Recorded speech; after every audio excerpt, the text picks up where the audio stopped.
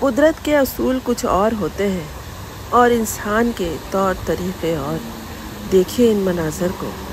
इंसानी हाथों ने ही इन्हें संवारा, सजाया और दिलकशी अता की है कि देखने वालों को खुदा याद आ जाए, वो हस्ती याद आ जाए जो सबसे ज़्यादा खूबसूरत और सबसे बड़ा तख्लीकार, सबसे बड़ा मुसविर है जिससे हम उम्मीदें वाबस्ता कर लेते हैं।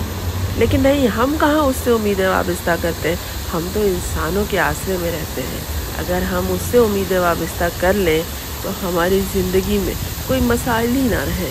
हमें एहसास नहीं हो मुश्किल क्या हैं।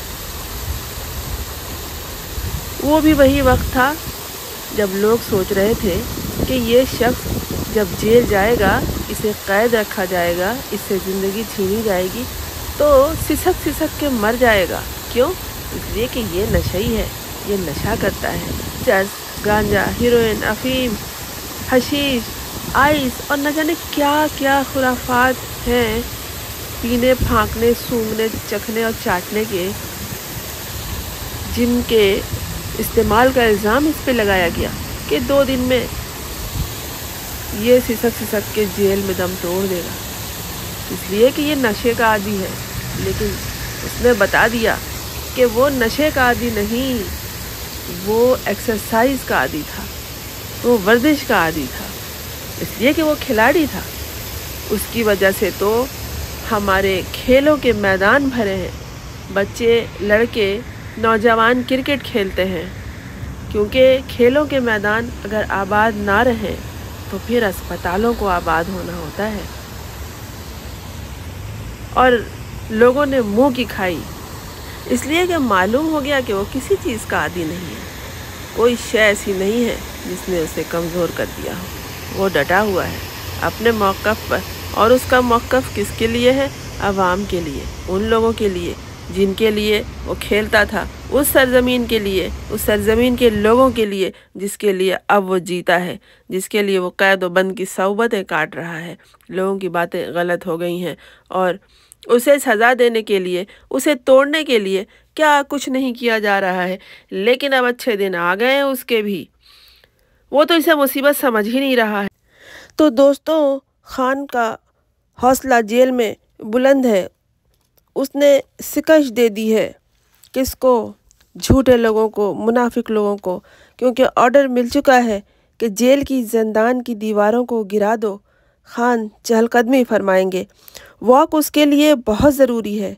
वो मनशियात का नहीं, नारकोटिक्स का नहीं, वॉक का, वर्जिश का आदि है। इसी वॉक ने, इसी नज़म ज़ब्त ने तो इकहत्तर साल की उम्र में उसे दुनिया के सामने, सऊबतों के सामने सीसा पिलाई दीवार की तरह खड़ा कर रखा है।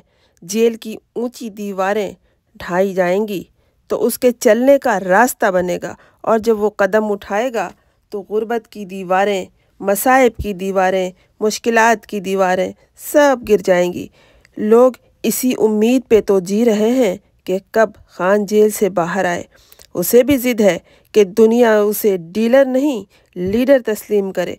वो डीलर नहीं है खुद गर्ज नहीं है, मौका परस्त नहीं है मतलब परस्त नहीं है। जभी तो लोग उसके मुंतज़र हैं, उसके इंतज़ार में हैं। आने वाले कल के मुंतज़र हैं, उस सूरज के जो कल तुलू होगा। खान अपने अज़म हिम्मत से इन तमाम सूरत हाल को शिकस्त दे चुका है। तारीकी छटेगी उजाला सामने आएगा। उसे ये हौसला कहाँ से मिला? आपकी वजह से।